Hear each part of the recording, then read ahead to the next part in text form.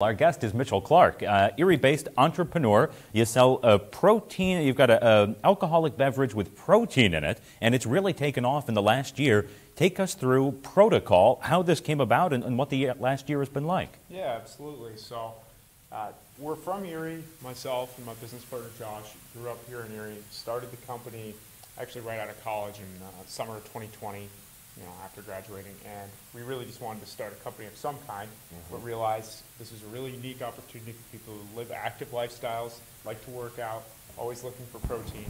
They're also looking to enjoy themselves. Hang on, we're going to stick a microphone on you because we're not sure that yours is working. So we're going to take John's and steal it because that's how we roll. All righty, we're improvising. Continue telling us about sure. Protochol. So, you know, that's kind of I mentioned uh, the target audience. It's that, that person who loves to be active and fit, but also most of those people love to enjoy alcoholic beverages and enjoy themselves. Uh-huh. So realized protein, high protein alcoholic beverage didn't exist. So we decided to make it happen. Launched back in January of earlier this year onto the market, you know, into retail stores across Northwest PA, and then have also expanded uh, into Ohio and Connecticut uh, and a few other areas. All right, so for the, uh, what's the ingredients? Do we have a lot of caffeine in this? Is this, the, what, what, what is the boost?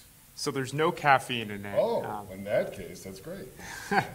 yeah, so 8% alcohol, the alcohol in that's it. That's pretty hefty. Yeah. This is almost like, like Canadian. Yeah, yeah, it's about double a standard beer, right? An average beer is about 4%?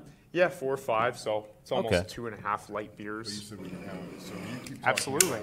We're going to do the orange. Pour, pour some up. Let's do it. All it's right. the orange creamsicle. Oh, the creamsicle. I love creamsicle. Also got a strawberry and a pina colada. Well, we got, we got a couple hours. So now into more than 200 stores. Uh, at what point in the last year did you realize, wait a minute, this isn't just a concept, this is a legitimate thing that, that, that we're going to be able to make work? At what point did it click for you that we've proven the concept, away we go?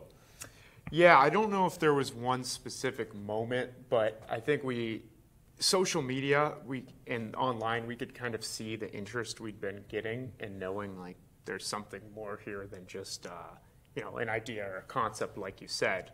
And then we've kind of proven it out through you know, sales uh, over time. Mm-hmm. so that it's really just been a, a consistent like process. that one famous tv show what are your sales? Right. Are they good?